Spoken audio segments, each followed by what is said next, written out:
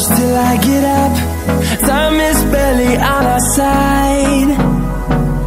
I don't wanna waste what's left.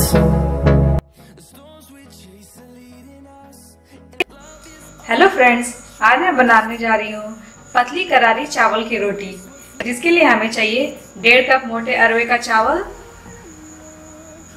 Half cup चना दाल और half cup उड़द की दाल और इन सारे इंग्रेडिएंट्स को हमें पानी में डालकर रात भर के लिए छोड़ देना है। हमने कल रात में जो चावल और दाल का जो मिक्सचर फुला के रखा हुआ था, उसे इस जार में डालकर अच्छे से इसकी फाइन पेस्ट बना लेनी है।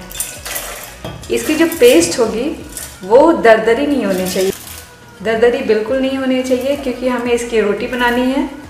तो ये बिल्कुल एकदम प्लेन एकदम सॉफ्ट चिकनी होनी चाहिए।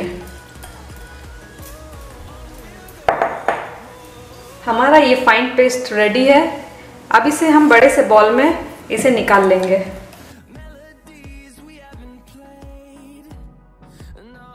और इसमें थोड़ा सा पानी मिलाकर इसे हम पतला कर लेंगे। इसमें डालना है थोड़ा सा नमक।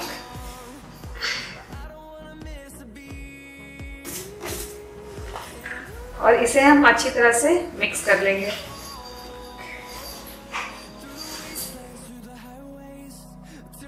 अब इस पैन को हमें अच्छे से गरम कर लेना है। इसमें लगाएँगे थोड़ा सा तेल।